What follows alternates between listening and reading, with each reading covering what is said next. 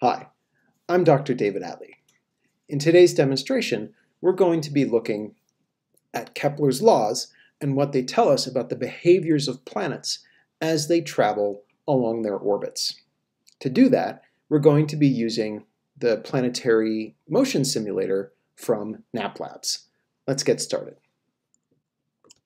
All right, I've got my NAAP Labs window open. I'm going to come over here to planetary orbits and I'm going to choose the Planetary Orbit Simulator. And that'll pop up this window that shows a random planet in orbit around a star. Kepler's laws tell us some really important things both about the shape of planetary orbits and also about the way planets travel along their orbits. And in this demonstration, we're going to be focusing on the first and second laws. Kepler's third law is a little bit odd. Um, so it's better demonstrated in a live classroom so we can go through the math and all of that.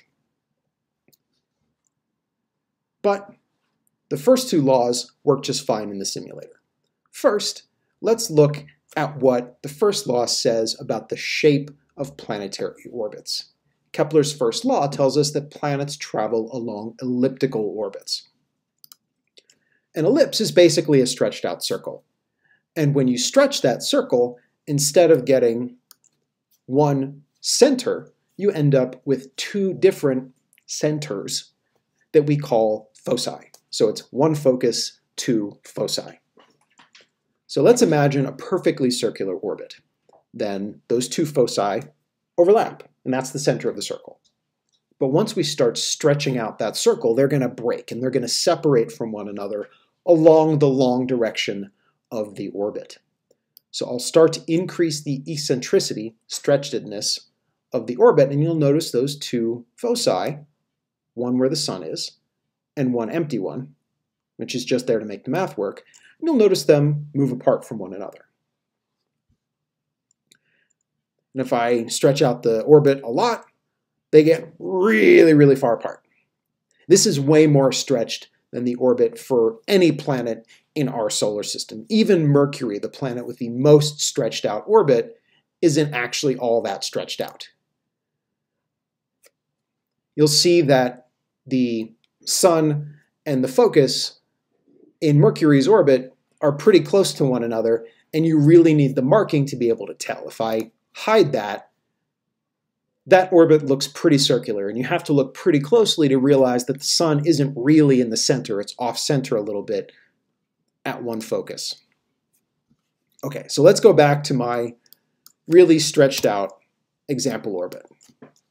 The other important feature of a circle is its radius. Unlike a circle, which all points on the circle are the same distance from the center, that clearly is not true in this ellipse. And instead, an ellipse has two important sizes. It's got the distance along the long direction, which we call the major axis, and then the distance along the short direction, which we call the minor axis. And in planets, the major axis is going to be really important, and in particular, the semi-major axis, so half of that long direction.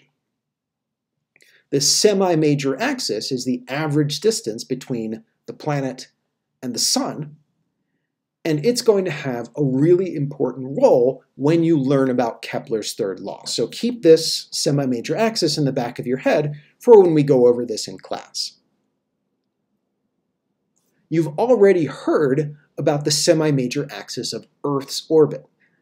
I've told you there's a really special name for the average distance between the Earth and the sun. Can you think of what it is? If not, go back, check your notes. When we talked about special astronomical distances, I gave you a name for the average distance between the Earth and the sun.